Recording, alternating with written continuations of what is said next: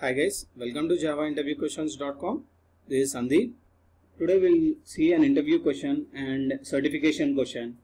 Can we overload a main method in Java? Can we overload a main method in Java? Let's write the question. Can we overload main method in Java?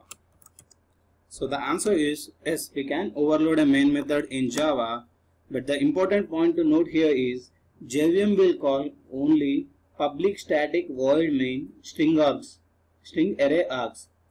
So JVM will call only this method. It won't call any overloaded method. And the user has to explicitly call the overloaded method. Okay, let's write the point. Let's write this point. Yes, we can overload the main method.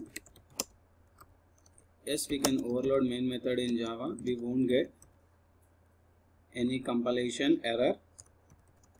We won't get any compilation error. But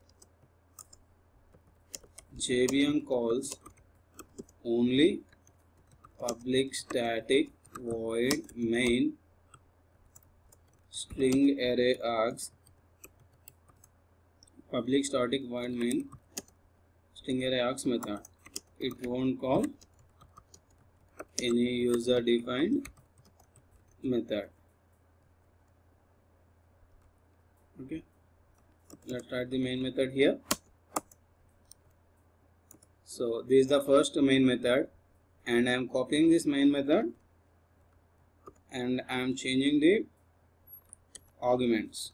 Okay. Instead of string array args I am making it as integer args now I am writing a system.out.println I am in main with string array args. Now I am writing one more system.out.println I am in main with integer args. Okay?